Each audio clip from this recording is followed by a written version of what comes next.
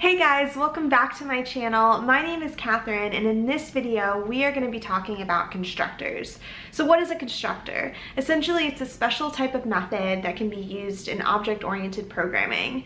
So what is object-oriented programming? Um, check out a video I've linked down below. It goes through instance versus class and all of those good terms. And once you have that stuff down, we can get started.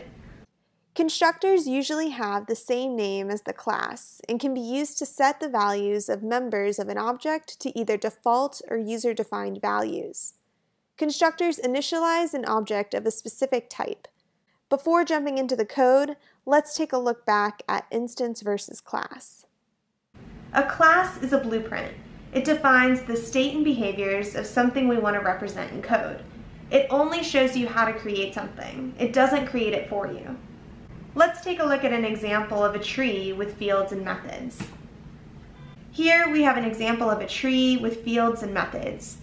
We have two fields, in this case we have number of leaves and feet tall, and one method called grow. An instance is a concrete realization of the object we want to represent. The fields of the class have independent values and we can interact with this object in code. An instance is a concrete realization of the object we want to represent. The fields of the class have independent values, and we can interact with this object in code. In other words, we can call the grow method and actually have this tree grow taller. In this case, we have an instance of the tree class, and we're calling it backyard tree. That's our variable name, if you will. It has two fields, number of leaves, which is 50,000, and feet tall, which has the value of 50. We could actually call grow on this by going backyard tree dot grow and it would change the value of feet tall and probably change the value of number of leaves as well. It would dynamically change the object itself. But how do we create these trees? How do we create this backyard tree? It's all through constructors. Let's take a look at some code. Here we have a tree class in Java. It's a blueprint on what trees consist of and what kind of behavior they have. To create and initialize a tree, I'll need to create a constructor. Again, this will be a special type of method that will allow me to instantiate objects and create tree instances. To create this constructor, we're going to go public tree, and then we're going to put in some parameters, and they're both going to be ints, and so we'll put the data type int, and then the name of the first parameter will be init number of leaves. And then the second parameter, also an int, will be init feet tall. And then we'll have our curly braces, and this is a constructor. If you don't know what parameters are or arguments or any of that, be sure to check out my video link down below on parameters versus arguments and what all of that means. Super important to know.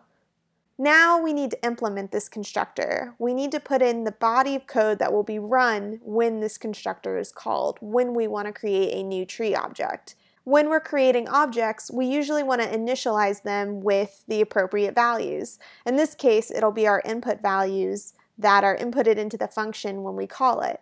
And so to initialize this object we're creating, we use the this keyword. So we'll go this number of leaves, which is accessing the number of leaves, the property, the field number of leaves for tree, and we are going to set that to whatever the value of init number of leaves is when the function's called.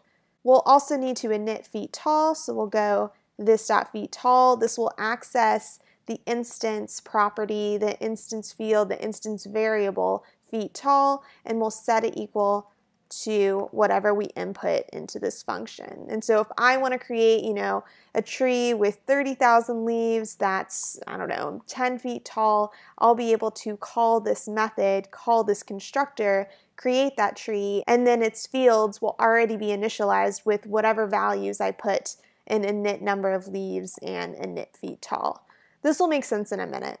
Essentially what we're doing here is we're using the this keyword to access the attributes or fields of this object that we're creating so we can set the value of them and then initialize this new tree instance that we're creating. That's the gist. I know that this keyword can be super confusing if you're just learning Java and just kind of getting into this whole coding ecosystem. Um, so I'll make a video about it and link it down below once it's done. If you're wondering what this grow method is, all it is is I increment the feet tall and number of leaves for whatever object we're calling grow on. This again, if you the this keyword doesn't make sense yet, it will in a minute. Um, but now our tree constructor is in place. It's done. We've implemented it. There's code in the function. We are ready to go. And now that that's finished, we can go ahead and move over to our main class here and actually start creating tree instances.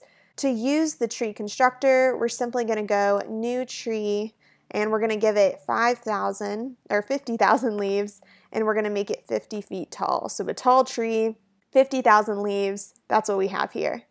Now again, what is happening with this piece of code? What does this really mean? We know we're making a tree, it's going to have 50,000 leaves, it's going to have 50 feet tall, but how does that actually work in the code? Well, here 50,000 and 50 are passed to the tree constructor, and the tree constructor's parameters, init number of leaves and int feet tall, get their values.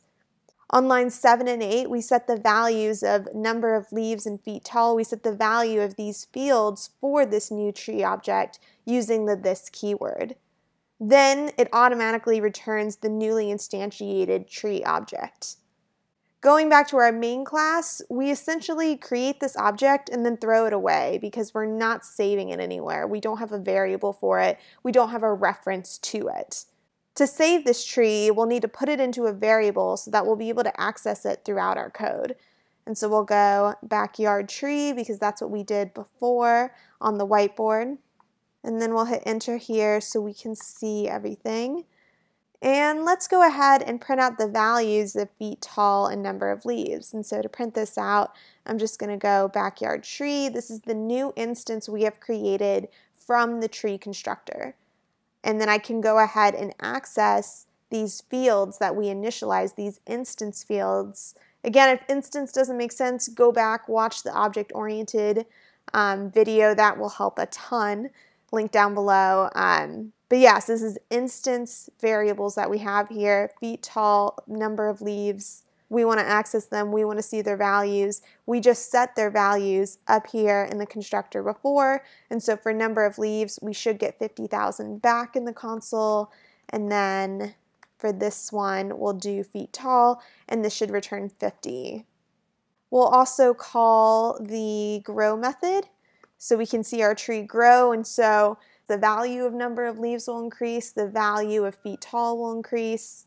And if we want to know how it's implemented, what actually happens when we want to grow the tree, we can go back to our tree class and see, oh, we increment whatever the value of feet tall is by 5, and then we increment the number of leaves, whatever value that field has, by 10,000. And so ultimately, if we grow 5 feet, we'll be 55 feet we add 10,000 leaves we'll be 60,000 leaves after grow is called. To prove this out, we'll copy 7 and 8 here, paste it down there so we can see what how this impacted the values of our fields. And then we'll go ahead and run this code. Just I did um, control click here on the main class because that's where our main method is. Everything is run through the main method in Java, and we get exactly what we expect in the console here. We get 50,000 leaves and 50 feet tall first because that's what we initialized with our constructor. That's what we initialized this backyard tree to have. We said we wanted 50,000 number of leaves, 50 feet tall. We constructed it using the constructor and then it was initialized appropriately. And then we called the grow method. This changed the value of our fields changed number of leaves, changed feet tall. These are all belonging to that instance, and that's why we see those values in the console. So what does this all mean? Now we have a fully functioning living tree instance, which we're calling backyard tree. That's how we're referencing it. And it was created by the tree constructor that lived in the tree class that we saw here. So that's it for this video. I hope you learned something new and be sure to subscribe if you don't want to miss out on more technical tutorials. Thank you for watching and happy coding!